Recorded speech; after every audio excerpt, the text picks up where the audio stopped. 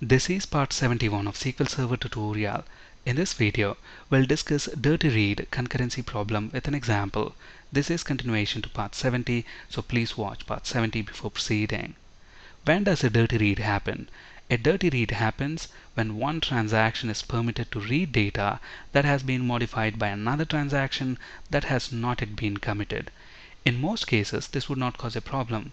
However, if the first transaction is rolled back after the second reads the data, the second transaction has dirty data that does not exist in the database anymore.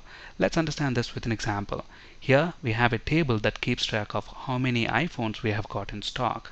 Let's say for the purpose of this demo, we are into iPhones selling business. Whenever we sell anything, there are at least two things that we need to do. First, we need to reduce the inventory by the number of items that we have sold. Second, we need to bill the customer. And let's say we have this transaction one that is doing both of those things for us. Let's say we have a customer who wants to buy one iPhone.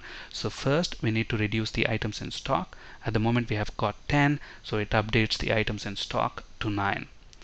And second, we need to bill the customer. Let's say the customer wants to pay using his debit card. That means this transaction one has to talk to the payment gateway provider to check if there are sufficient funds. And let's assume this payment gateway provider is going to take a few seconds to get back to us. So while transaction one is billing the customer, there is another transaction, transaction two. And all this transaction want to do is read the number of items in stock. And it reads that number, which is 9 and then a few seconds later transaction 1 you know uh, starts proceeding because the payment gateway came back with insufficient funds. That means we cannot proceed with this transaction. So it's going to roll that transaction back. When we roll the transaction back what's going to happen to items in stock? It will be reverted to 10 but what is the number that transaction 2 is looking at? 9 and that is dirty read. That is dirty data so why did this dirty read happen?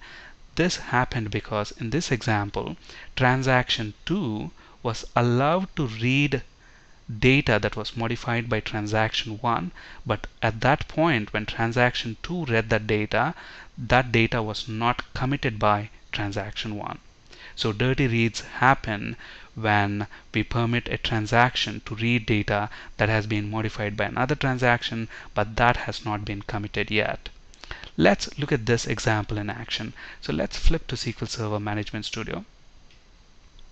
So I've already created that inventory table and if you look at the inventory table at the moment we have got 10 items in stock and here I have two instances of SQL Server Management Studio so the first instance here on the left is going to issue transaction 1 and the one on the right is going to issue transaction 2 so let's begin a transaction.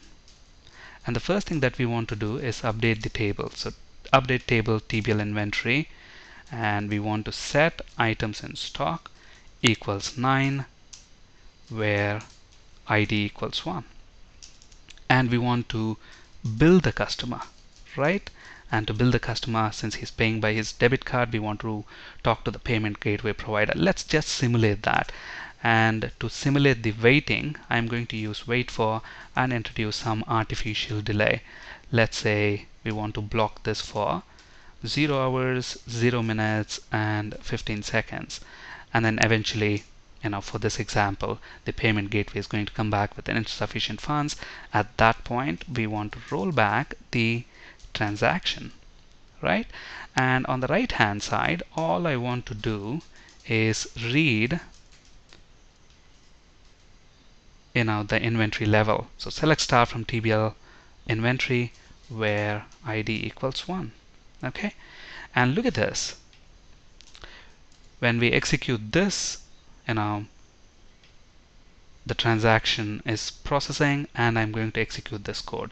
By default transaction 2 will be blocked look at that transaction to it says executing query. And this will complete its execution as soon as transaction 1 completes. Okay that's because the default transaction isolation level is read committed. Look at the name read committed.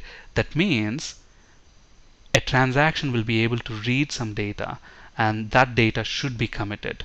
Okay that's what read committed isolation will do because here this transaction is updating this row with id 1 and you know it updated that and that statement is part of the transaction. And here it's blocked you know it's actually waiting for something to happen. So this transaction is not completed yet. That means whatever change it has done it's not committed yet. And this transaction 2 is going to work um, you know with the same data. It needs the same data. It's trying to read that same data and that data is not committed yet. So that's why transaction 2 will be blocked because the default isolation level is read committed. It can only read the committed data. Now to be able to read uncommitted data we have to use a different isolation level and that is read uncommitted. So let's set transaction isolation level to read uncommitted okay? And now let's go ahead and execute this. And look at this. When we execute transaction 2 it executes right away. And look at what value we get.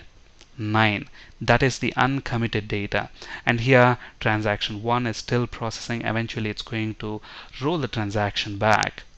And when that happens you know the items in stock will be reverted to 10 because you know we roll the transaction back. Look at that. Transaction 1 is looking at 10 but transaction 2 is looking at 9 which is dirty data which is uncommitted data. So read uncommitted transaction isolation level is the only isolation level that has dirty read side effect. No other isolation level has this side effect. And this is the least restrictive of all the isolation levels when this transaction isolation level is set, it is possible to read uncommitted data. Uncommitted data is also called as dirty data. That's because you know there is a possibility of that being rolled back. And read uncommitted transaction isolation level is the only isolation level that has dirty read side effect. Now here to read the dirty data, we are setting the transaction isolation level to read uncommitted. Another option to read dirty data is by using no lock table hint. And if you look at the query right here, look at that, it's using no lock table hint. And this is equivalent to the query that we have here in transaction 2 vendor. So let's look at that quickly in action. So I'm going to execute just this piece of code right here, uh, begin transaction and update this. So we begin the transaction, but we didn't either commit or roll it back. So now let us go ahead and change the isolation level to read committed. And now if we execute this statement, what is going to happen? This will be blocked. Why? Because this isolation level is saying only allow reading committed data. Now, one way to read that uncommitted data is by using read uncommitted isolation level. The other way is by using no lock table hint. So on this table TBL inventory, I'm going to use no lock table hint and that means it is going to allow us to read that dirty data. Look at that, we are able to read that 9. Now if we roll the transaction back and if we execute this, we should get 10 back okay? So to read dirty data you can either set the transaction isolation level to read uncommitted or you can use the no lock table hint. Thank you for listening and have a great day